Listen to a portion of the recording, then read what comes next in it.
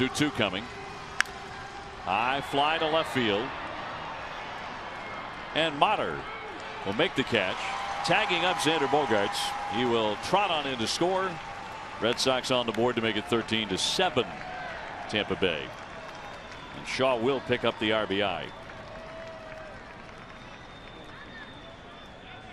So Xander's hustle